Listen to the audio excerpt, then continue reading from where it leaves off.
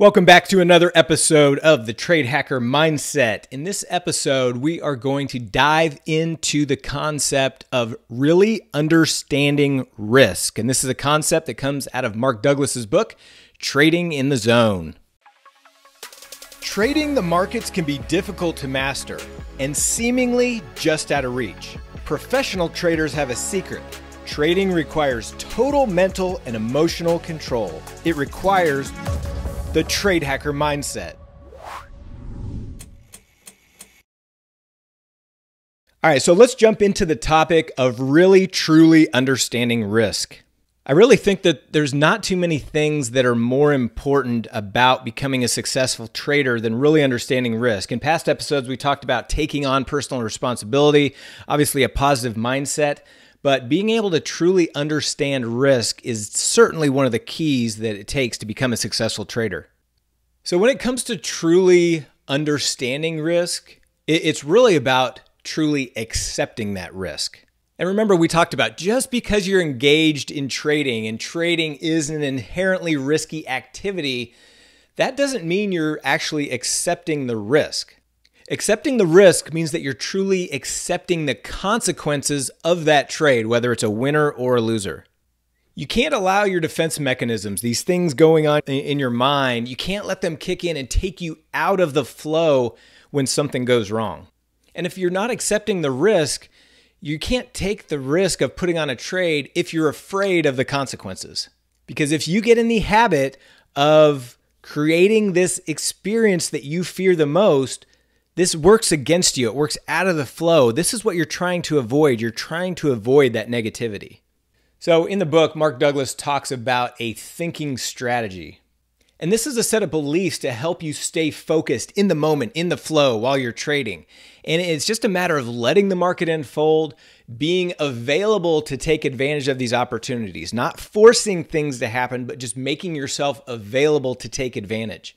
And you're doing this without expectations. Okay. You have no expectations of the market's behavior. You're just making yourself available because we know that the market is going to do what it's going to do. So you have to let the market do what it's going to do and just take advantage of that at specific times.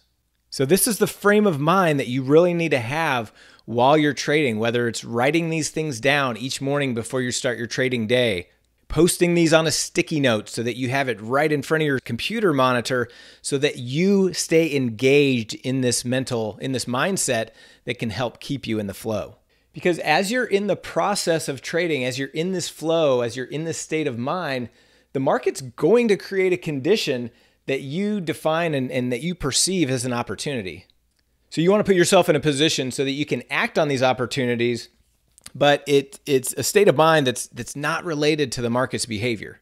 And if you can create this state of mind that's not affected by the market's behavior, this struggle that you've that you've felt, this fear, this uneasiness, it'll it'll just go away. And when the struggle goes away, then everything starts to become more and more easy.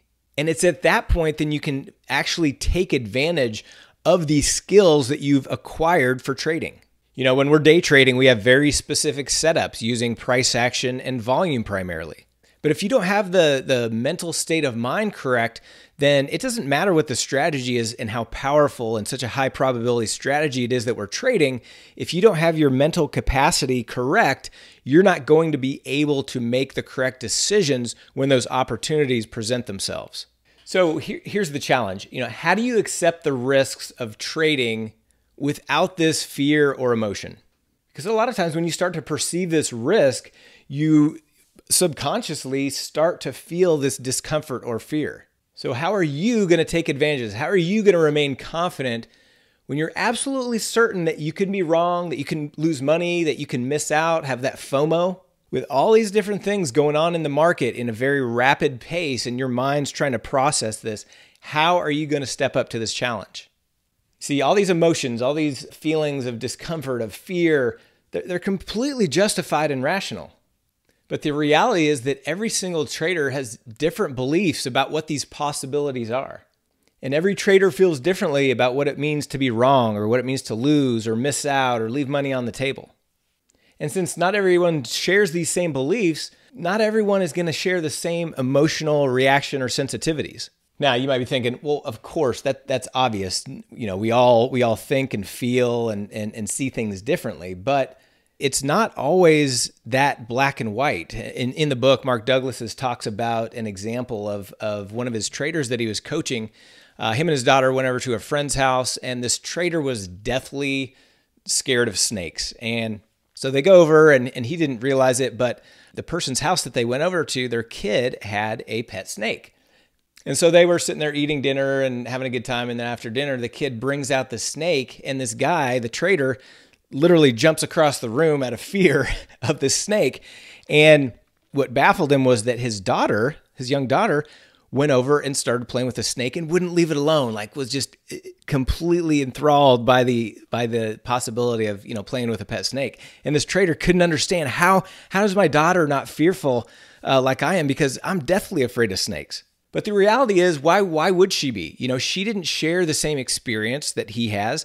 Uh, you know, he hadn't told her that that snakes were dangerous. So why would she be afraid of snakes just because he was? It works the same way. I've seen many situations where you have parents who who love dogs, but but for whatever reason, you know, maybe was something happened when the when the, their child was just a baby. But sometimes when kids interact with dogs initially, they they're super scared and their parents can't understand well i love dogs. You know i've always had dogs my whole life. My families have always had dogs but so why is my kid scared of dogs when nothing's really ever happened? So it works both ways but it's it's our own experiences and our own you know natural perceptions that really makes the big difference.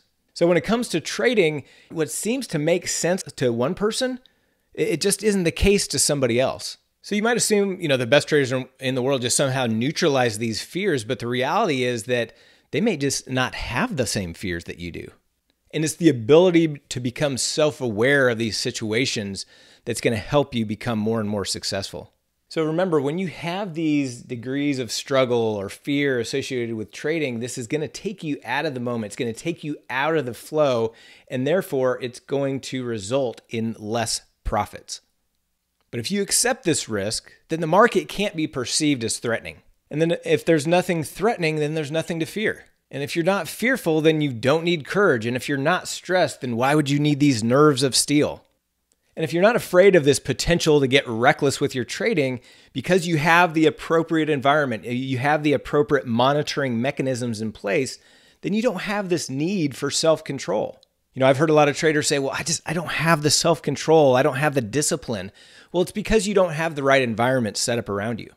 We love trading for the freedom that it provides, but if you don't have these environments and these monitoring mechanisms in place, and this these things that are going to just automatically keep you disciplined and on track, you can't just go in and start winging it when it comes to trading. You know, I see this all the time where traders will come in and just want to wing it because they they're into trading because of the freedom it provides. But if you don't have this internal control, these mechanisms in place, it's it's always going to end badly. Now, very few new traders go into it with those appropriate beliefs and attitudes and responsibilities and, and risk metrics in place. But you've got to get to that point where you start trading with these appropriate beliefs and attitudes and uh, about responsibility and risk you know, everyone goes into trading kind of in that same cycle that we talked about in the past episode where you start out carefree, then you become scared because of losses, and then and you go through this cycle over and over and over. It's the traders who break through this cycle that eventually learn to stop avoiding and start embracing the responsibility and risk. The problem is most people don't break through this cycle until they've they've had the pain after they've experienced the pain of a large loss or a large losing streak. So the goal here is of talking about this of this whole podcast is to get you in the right frame of mind, to put you in the right environment so that you don't have to go through that experience of a massive uh, painful loss because sometimes that that large loss is what what causes traders to quit and if they would have just focused on their mental environment they could have gotten over that hump they could have broken through that cycle and and, and started to become a successful trader and I can't stress enough the topic of self-awareness. You know, be aware of these shifts taking place inside your mental environment. One thing that I do is while I'm trading, I will I'll just have a notepad next to me and as as I'm placing trades, whether that's getting in a trade, getting out of a trade, whatever, you know, if I'm in a trade and I'm not getting out and it's going against me, I write down exactly what I'm thinking. I'm, I'm, i write down exactly what I'm feeling because we all have these internal conversations with ourselves. Sometimes it's so in such the unconscious, subconscious realm of our mind that we don't realize it. But if you really take the approach to focus on what you're actually thinking, what the what are these conversations going on in, in your mind and write them down, you are not going to believe how powerful that is in helping you become a better trader.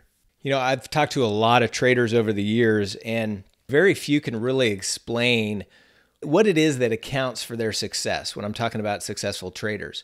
Except, you know, they talk, you know, in different kind of typical trader jargon like cut your losses, go with the flow, let your winners run, which we talk about all the time, you know, especially with our, you know, one of our strategies that we call the runner, you know, we talk about cutting losses quickly, letting our winners run and that that helps with it from a strategic standpoint, but it's also the mental piece that you've got to you've got to focus on to to get out of that that cycle of going up and down with your the roller coaster of your P&L.